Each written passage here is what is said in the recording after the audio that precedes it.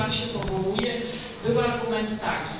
E, Osoba musiała być z regionu, ponieważ to, to jest to myślenie z okresu, kiedy jeździło się dorożką, prawda, i koniem. W związku z tym osoba musiała być z regionu, bo nie dojechała dorożką dosyć daleko, szybko. W okresie, kiedy jednak drogi są, lotnisko będzie, a przede wszystkim w okresie internetu.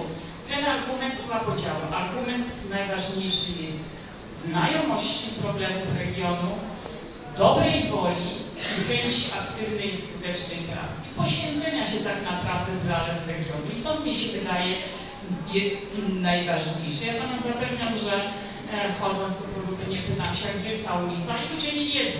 Bo często ludzie z regionu, żyjąc tu, widzą to, w czym się wychowali, coś wokoło. Widząc pewne rzeczy, przychodząc, rozmawiając, mi się wydaje, że mogę być dobrym przedstawicielem.